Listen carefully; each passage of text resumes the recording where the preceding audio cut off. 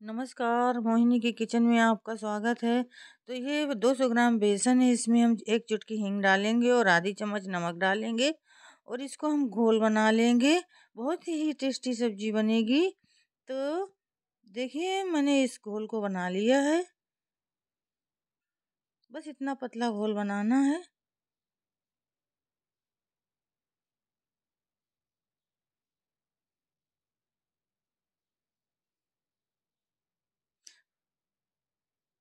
तो इस कढ़ाई को हम गैस पे रखेंगे और इसमें हम डालेंगे तेल।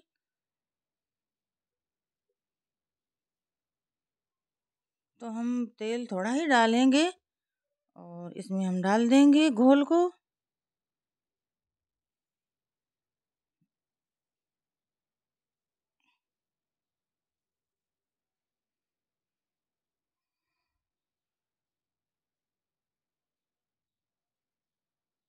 अब इसको हम धीरे धीरे चलाते रहेंगे।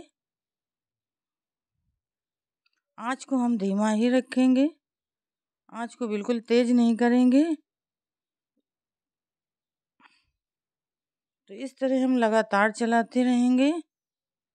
जब ये थोड़ा सा गाढ़ा हो जाए तो और जलाते रहेंगे। थोड़ा सा गाढ़ा नहीं, एकदम से गाढ़ा हो जाए। जितना आप कर सकें, उतना गाढ़ा इसको बना लें। तो इस तरह से चलाते हुए गाढ़ा बन जाएगा। अभी शुरुआत है, इसलिए ऐसा लग रहा है। इसके बाद इस तरह से गाढ़ा हो जाएगा। तो देखिए, इतना गाढ़ा हो गया है। अब इतना गाढ़ा हो गया है लगातार चलाने के बाद, अब इससे ज़्यादा गाढ़ा नहीं होगा। तो अब हम इससे ज़्यादा गाढ़ा नहीं कर पाएँगे तो अब हम इसको एक थाली या प्लेट या किसी भी बर्तन में इसको हम निकाल लेंगे। तो देखिए हम इस बर्तन में निकाल लेंगे। जो रोटी बेलने वाला है, उसी में हम इसको निकालेंगे तो इसमें हम पहले थोड़ा सा तेल लगा देंगे। तेल ना भी लगाएँ तो वो सही हो जाएगा, लेकिन तेल लगाने से ज़्यादा अच्छा रहेगा। तो मैंने थोड़ा सा तेल लगा दिया है। और अब हम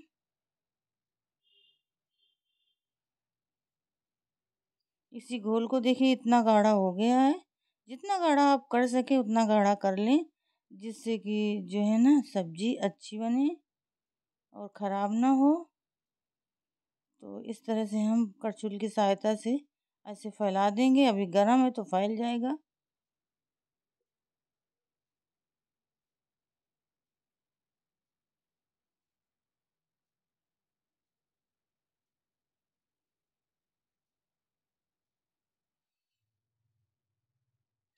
अब थोड़ा सा हल्का सा हाथ लगाकर हम इस तरह से बराबर कर लेंगे और अब ठंडा भी हो गया है तो इसको हम पनीर की तरह पीस काट लेंगे।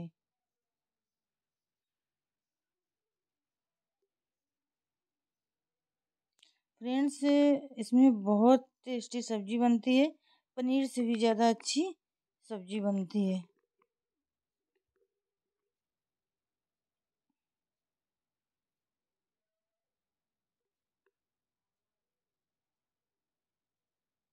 तो इसी तरह हम गट्टे की तरह काट लेंगे।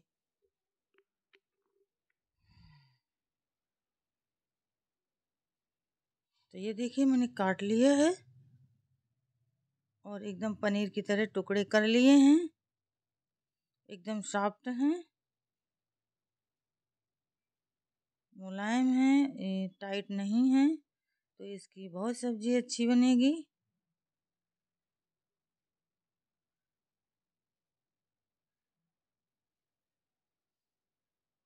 तब हम शुरू करते हैं सब्ज़ी को बनाना। तो कढ़ाई को गैस पे रख दिया है और कढ़ाई गर्म भी हो गई है। और अभी इसमें डालेंगे तेल। तो तेल इसमें थोड़ा सा ज़्यादा पड़ता है क्योंकि बेसन की सब्ज़ी है। तो इसमें हम डालेंगे एक इलायची, का, बड़ी वाली इलायची और एक टुकड़ा उसका लकड़ी का। दालचीनी की लकड़ी है। तो इसको हम चला देंगे। इसके बाद हम डालेंगे एक प्याज के टुकड़े कर लिए हैं, सात आठ कलियाँ लहसुन की और दो हरी मिर्च हैं और आधी चम्मच मेथी दाना है। तो ये सारी चीज़ों को हम एक साथ ही डाल देंगे। आप चाहे तो अलग अलग डालें, चाहे तो एक ही साथ में डाल दें सभी चीज़ों को। तो मैं एक ही साथ डाल रही हूँ।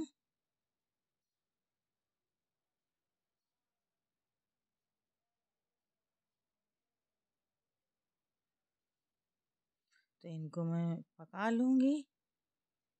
इस तरह से।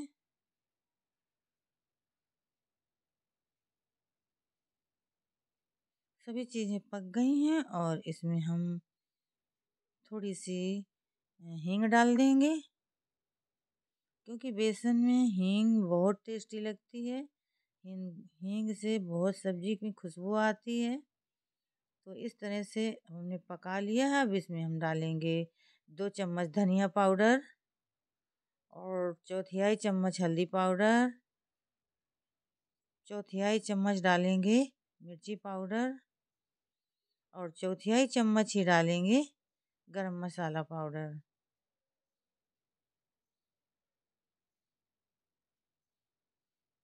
तो इस तरह से हम चला देंगे जिससे कि मसाले पक जाएँ और जिससे कि मसाले जले नहीं तो इसमें हम थोड़ा सा पानी डाल देंगे। अब अच्छे से पका लेंगे धीमी आँच पर। आँच को ज़्यादा तेज़ नहीं करेंगे तो मसाले धीमे धीमे पक जाएँगे। तो मसाला देखिए पक रहा है।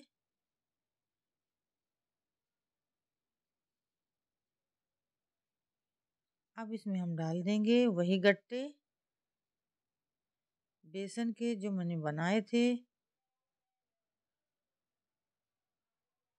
इस तरह से इतनी टेस्टी सब्ज़ी बनती है कि आप लोग एक बार ज़रूर बना कर देखें।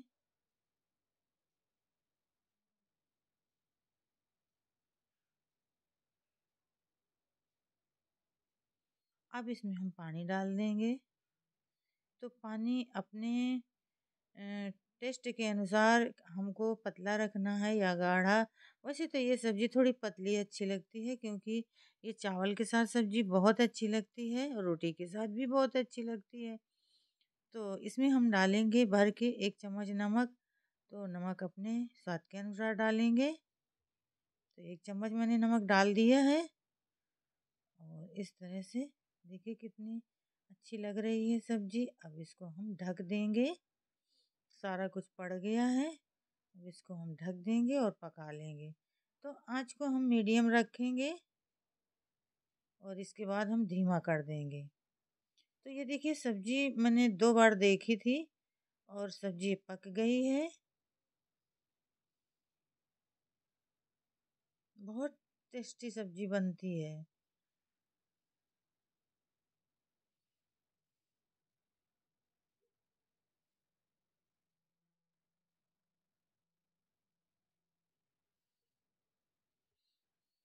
तो अब हम इसको सर्व करेंगे।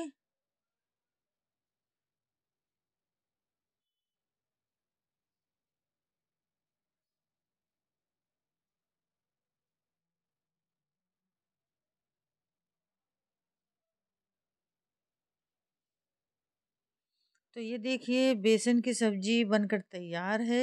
पनीर से भी टेस्टी बनती है ये सब्ज़ी। तो अगर बेसन की सब्ज़ी इस तरह से बनी हुई है, आप लोगों को पसंद आए तो प्लीज़ मेरे चैनल को लाइक करें, शेयर करें, कमेंट करें और सब्सक्राइब ज़रूर करें।